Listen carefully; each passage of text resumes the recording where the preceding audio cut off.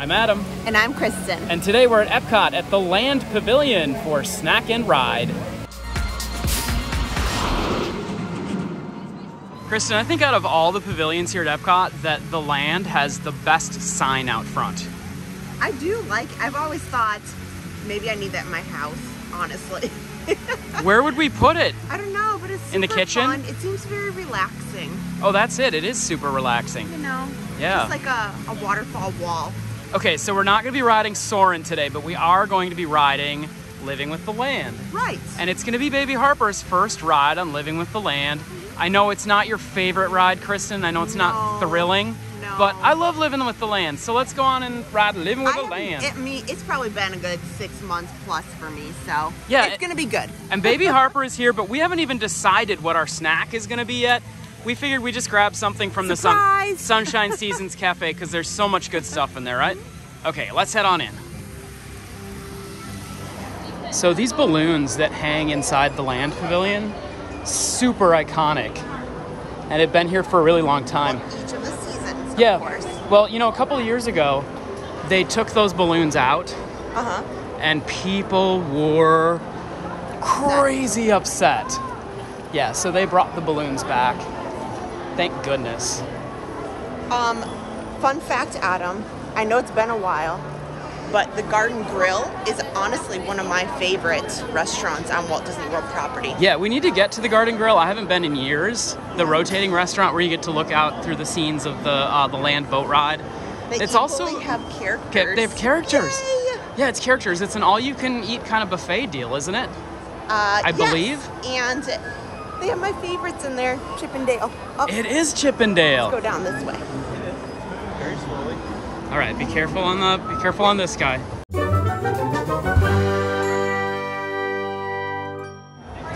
Ah, living with the land. I remember it used to be my mom's favorite song. They used to have the uh, let's listen to the land we all love. Nature's plan will shine above. Listen to the land. Listen to land. You remember that song? I Do Do you remember that? You know what? Um, And it's only a five minute wait. yeah, this is a great place to go if it's Enjoy living with the land. Por su seguridad permanezca I love your spirit jersey. Thank you. Is this the one we found in? Oh no, we found it at Magic Kingdom. We did, yes. Yeah, I was Ironically, wondering if it was Disneyland from- didn't have it. Yeah, we didn't find it in Disneyland.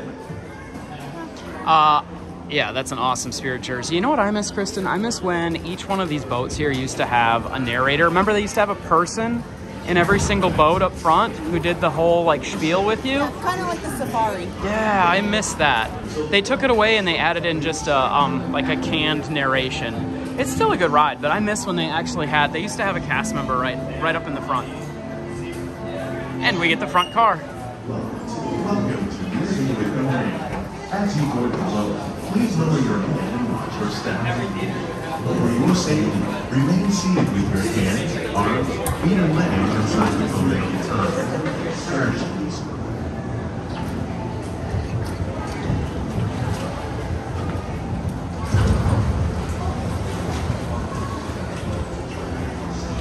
I smell that chlorine smell and it makes me happy. It smells like Pirates of the Caribbean, kind of. A little bit. Yeah. Splash Mountain. Welcome to a voyage of discovery and awareness of the richness and diversity and the often surprising nature of living with the land. Our journey begins as dramatic and sudden changes are sweeping over the land. The approaching storm may seem violent and destructive to us, but to nature, it's a new beginning in the cycle of life.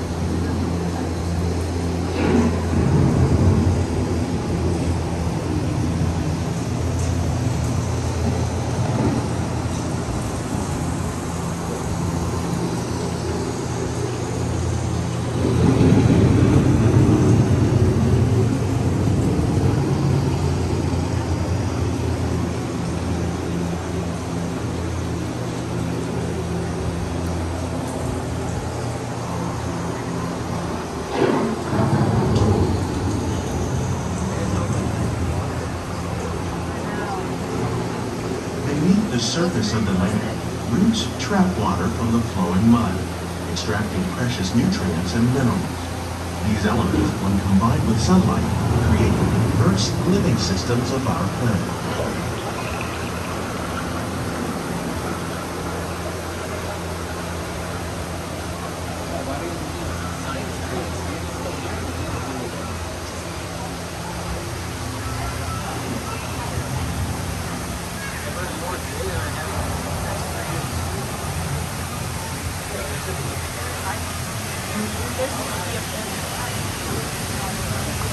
One yeah, of those there's the living restaurant. Systems is the rainforest, home to the most amazing concentration Mickey. of life on the planet. But it's a real Mickey. Covered only in Oh, I can't see him, but that's the restaurant. They contain more than half of its plant and animal species. Rainforests are also extremely rich in productive living systems, providing us with oxygen, food, medicine, and other elements essential to our lives.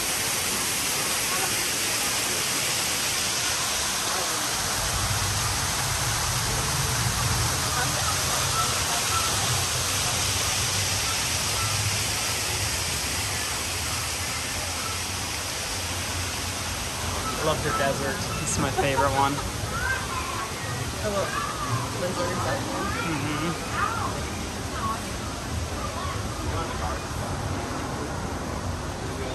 In the desert, nature has created a very different, but no less beautiful living system.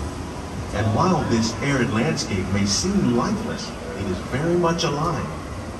The plants and animals that have learned to survive in these harsh conditions make use of what little water they can find and avoid the scorching rays of the relentless sun. The prairie dogs. The American prairie once appeared as desolate as the desert, but over time, rainwater and nutrients gradually penetrated the hard surface of this land. Even the hooves of the mighty buffalo helped create the rich soil that would one day become home to the American farm.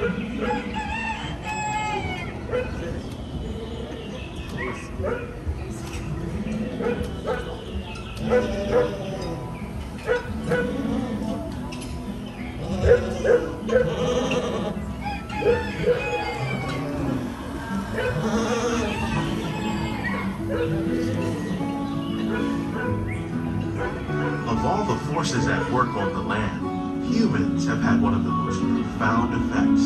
The need to produce food for a growing world led to the enormous use and sometimes overuse of the land. In our search for more efficient ways to grow food, we often fail to realize the impact of our methods.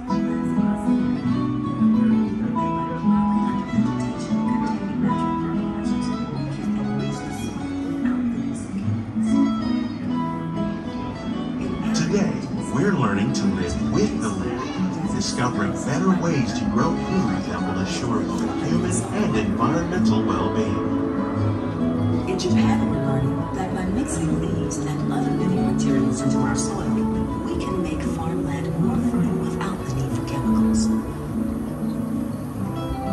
Here at Epcot, we're learning to reduce the need for chemical pesticides by breeding and using natural predators, like ladybugs and wasps, to control pests. In the farmlands across America, we're learning that by plowing under vegetation containing natural fertilizers, we can enrich the soil without the use of chemicals.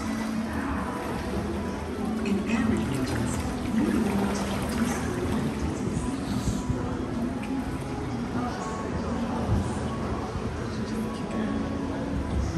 reduce She wants to jump in that water so bad. How will To go we for a meet swim? tomorrow's Yep. growing He's like- food production, yet still respect the needs of the land? Some of the answers are being discovered just ahead.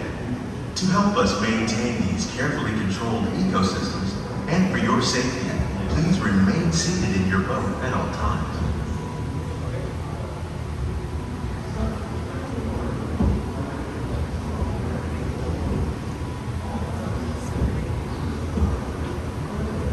Dragon.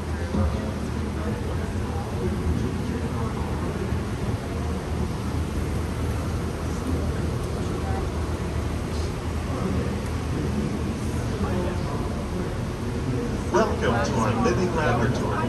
where scientists from Epcot and the U.S. Department of Agriculture are exploring innovative ways to produce bountiful harvests now and into the future.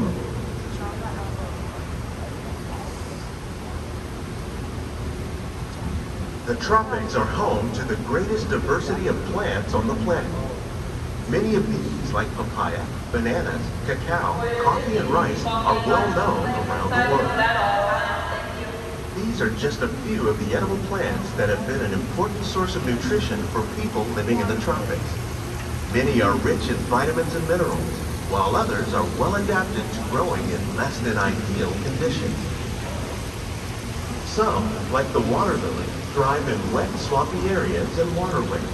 All parts of this plant, even the flower petals, are edible. The starchy root of the plant has long been used to make flour for baking.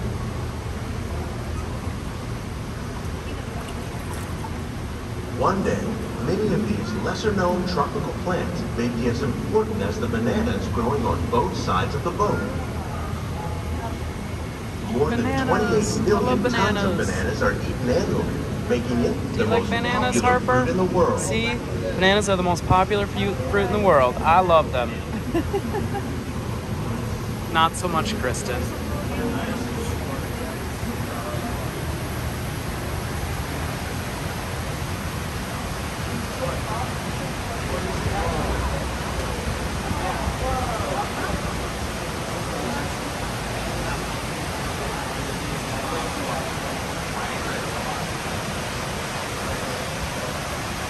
When we mention farming, you probably don't think of fish, but fish farming, or aquaculture, accounts for nearly half of all the seafood consumed globally.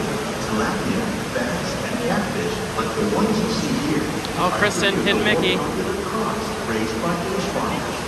The sustainable system we're using here recycles the water in the tanks. As a result, we're able to save millions of gallons each year. Our small fish farm produces nearly 5,000 pounds of fish each year to serve in restaurants around Walt Disney World. Innovations like this can play an important role in our efforts Wow, that's a big bountiful shrimp. harvests and still protect natural Another Hidden Mickey.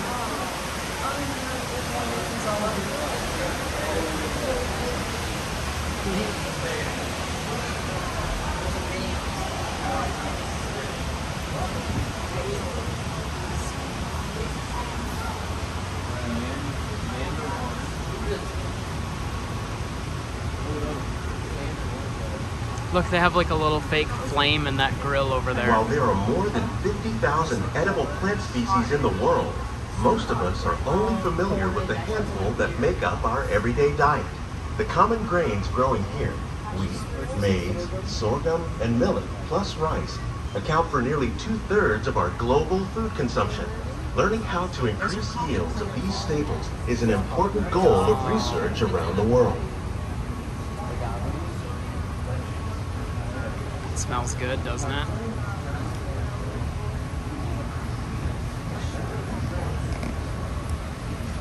These plants Now, are Kristen, definitely know on their way up. having an urge to Innovative growing the boat and techniques grab like these increase yields while more efficiently using resources like water, Gotta stay on the fertilizer, and pesticides. Another innovation at work here is our integrated pest management program. By populating our greenhouses Wow, with look at those beneficial peppers. insects that Those prey on harmful Snake pests like aphids and flies, we are There's the significantly reducing our reliance on delicious. conventional They do look good, yeah.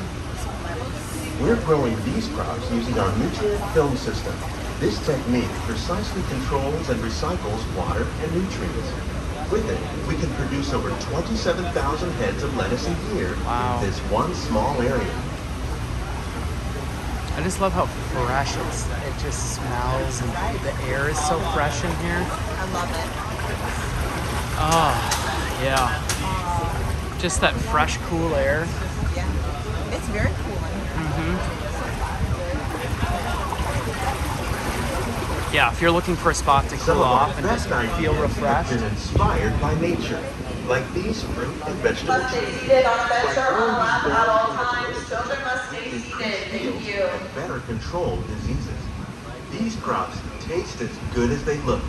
In fact, We serve more than 15 tons of produce from our greenhouses in restaurants here at the land every year. They use Rainbird just like we do at home.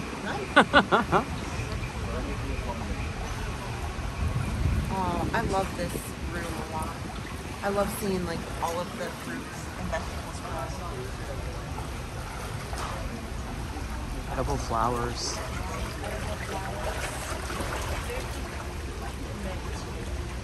Oh, mint, yeah. The future of agriculture may include innovative ideas like this vertical growing system. Plants grown in this way use a fraction of the space required by traditional growing methods. That saves water and increases production. The aquaponics system on your left combines hydroponics with aquaculture. The fish provide a natural source of fertilizer for the plants, and the plants help keep the water clean for the fish. It's another great way to produce more while using less.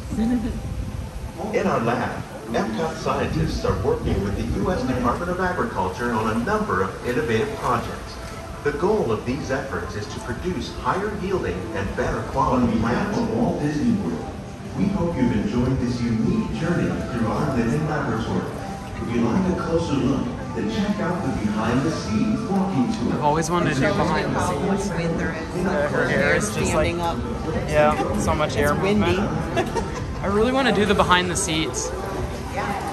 I also want to do that elephant tour at Epcot. Or I'm sorry, at Animal Kingdom. The elephant tour. So many special little tours that they do. I think this winter, when it's a little cooler. These greenhouses represent just a fraction of the work being done worldwide to produce bountiful harvests for our growing population. Scientists, farmers, and even backyard gardeners are doing their part to improve the quantity and quality of foods that we all rely upon. Together, we can continue to find more ways to increase food production and protect our precious natural environment. Only then will we truly be living with the land.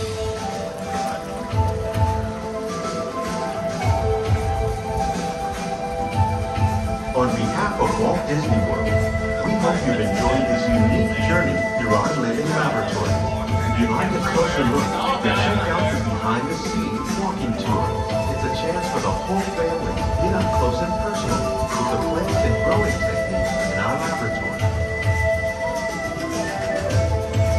Please keep your hands and feet inside the boat and remain seated until the boat comes to a complete stop.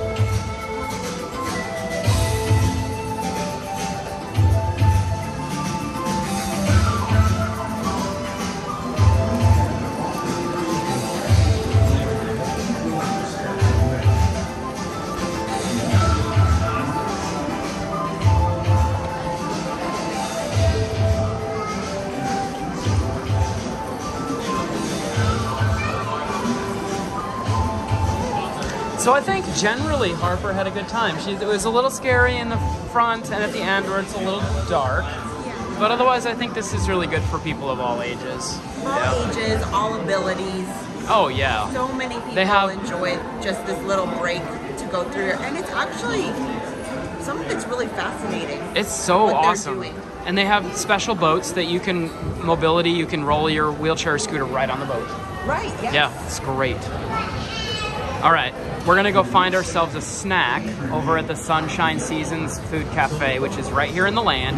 Not sure what it's gonna be, Everything's delicious. but I'm sure everything. can't go wrong. They've got some special 50th stuff too. They do. Yeah, so we'll go check it out. So if you are curious, when you exit the ride, so you can see you exit the land boat ride right here, they have a little kiosk. There's nobody here now, but this is where you can book your behind the scenes um, tour of the land. I've never done it. I've Or always wanted in. to. Yeah, or where you check in.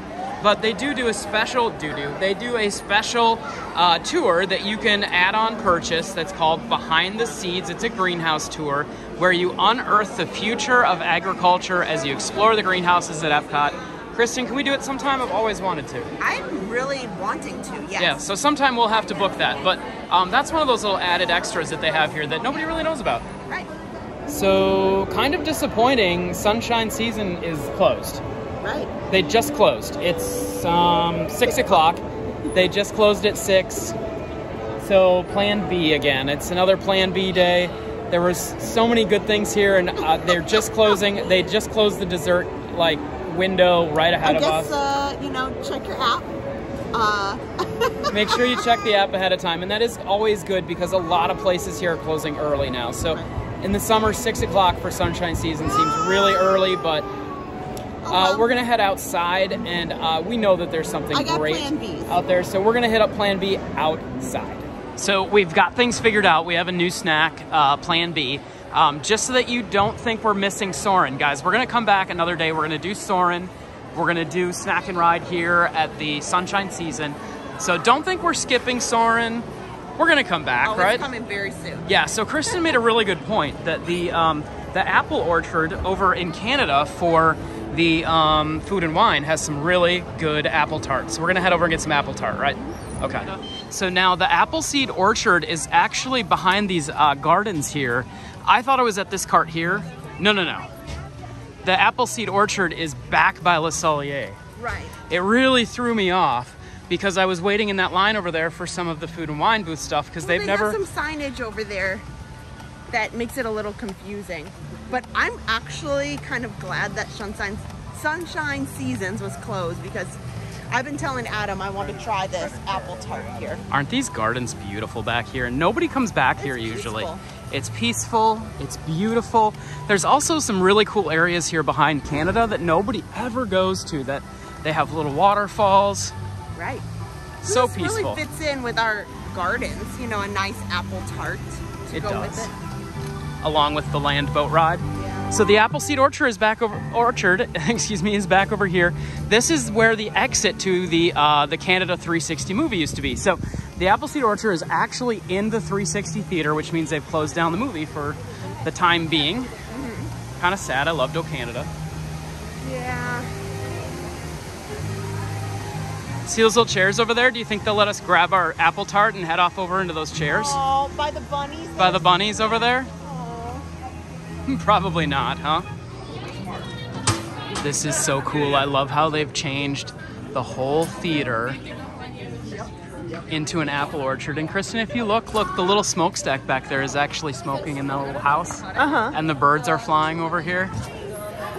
You know, when I did come in here, I had really thought, even though I enjoy the movie, I think that this would be lovely for a full time, like food area or They have a yeah, they have a full um, kind of bar area here here. And look, they've got tables over here that we can go um, take a little uh, little rest and have our apple tart.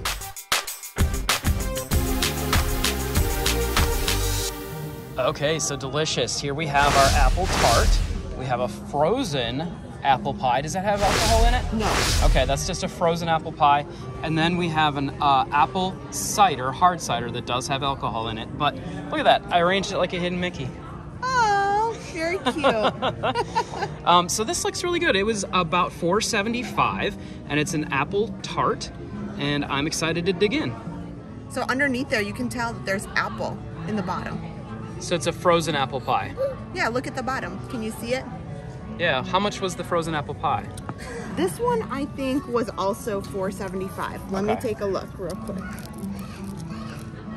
Uh, it was 450 actually. 4.50. Am I supposed to eat the outside of this too? Well, we just- should cut it with a knife.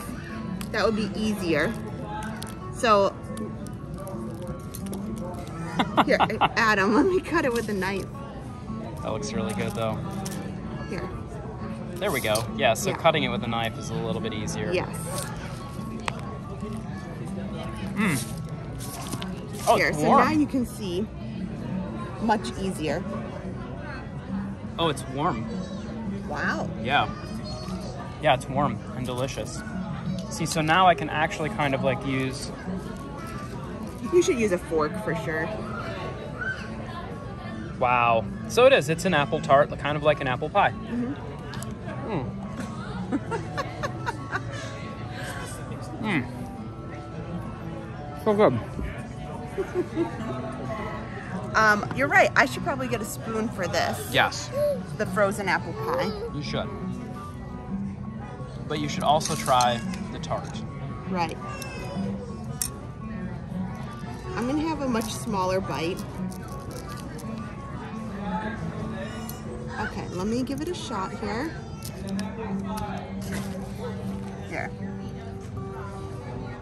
Mm.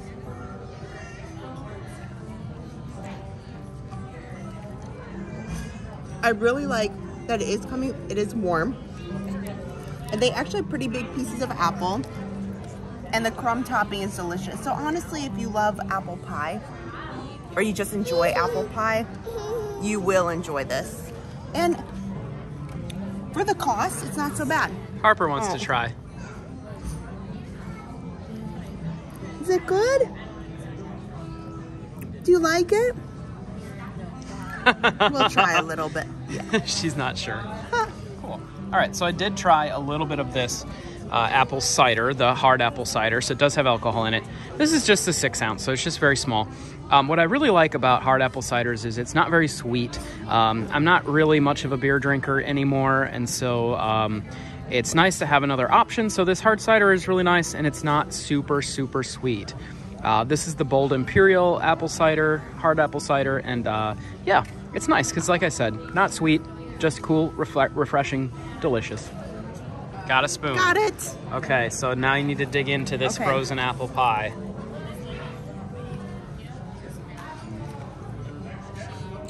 Hmm. It's interesting. It's a slushy. Oh, it is a slushy. Okay. It's a slushy with um like crumbly topping. So hold on. Hmm. Out of all the slushies in our Epcot, it's probably not my favorite. It is um it's got an apple slushy taste, but honestly, nah, you should try it, Adam. You try, you let me know. Okay. Let me give the frozen apple pie a shot. Yeah, give it a try. It doesn't have, after kind of taking a few extra bites myself, it doesn't have a super apple flavor as I was expecting. So you know how when you get a frozen slushy and it's supposed to be like a Coca-Cola slushy, it doesn't really have that like Coca-Cola taste because it's frozen. This is kind of like that. I think it's definitely apple, but it's very, very muted. Mm-hmm. That's what I would say. It's a, it's like a muted apple flavor. Now, I didn't dig in there to the bottom. Let me get to the bottom. Why don't you get to the bottom and tell me, is there, there should be apple pieces on the bottom. Um, And I started to swirl it around a little bit. Oh, there it is. There's some apple pieces. Yeah. Yeah. Hmm. Okay. The apple, yeah, the little pieces of apple definitely add something to it. Um, is it my favorite? No. Do I like it? Is it refreshing on a hot day? Yeah, totally. Yeah, I have to say, of all the things in the in the Oh. festival, it's kind of meh. Yeah, It was kind of little meh, for me. I like the apple crumbles on the top, but otherwise, yeah, I give it kind of a. I wouldn't come back for it. Nice. The apple tart, I would come back for. Yeah, for the sure. apple tart, as you can see, guys, I've done most of the work on this. You can save one bite for me. I'll save the last bite for Kristen, but other than that, the apple tart. Adam took care of it all, so it tells you. And we came here because I wanted it. All right, the last piece is for you, Kristen. and I'll wash down a little hard apple cider. okay. Perfect. All right, now it's your turn. Now Finish you off. hold the baby, and I take the last bites. Sounds good. Fair trade. Yes. Harper's gonna Harper, try some try slushy. Slushy. Was it okay? I guess even Harper thinks the slushy was kind Kinda of meh. Meh. It's like, well, hmm, hmm. Not her favorite either, guys. Not. Sorry. Here, let's wipe you off. And she likes, she's like me. She likes everything. So if Harper's kind of like, hmm. So living with the land never, ever, ever disappoints me. I love having uh, just like a little bit of time in the uh, cold, fresh air. Uh, there's a little bit of science and education there that I like. Uh huh. Uh, great place to cool off for about 15 minutes. It's a longer ride. It's about 15 minutes. Well, that's why if you need to get out of the heat a little bit, it's an excellent, excellent attraction. Uh, and then I'm so glad we came over here to the Appleseed uh, Plan B. Orchard, Plan B over here at Canada, uh, and tried the apple tart and the frozen apple pie because it was really good. Like you said, the frozen apple pie, mm, okay. Apple But that tart, tart, I'll be back for. delicious. Guys, if you have not subscribed to our channel yet, please hit the subscribe button, turn on notifications. We go live every Sunday from right here at Walt Disney World, and you don't want to miss it, so make sure you do that. All right, guys, until next time, enjoy all the snacks, enjoy all the rides.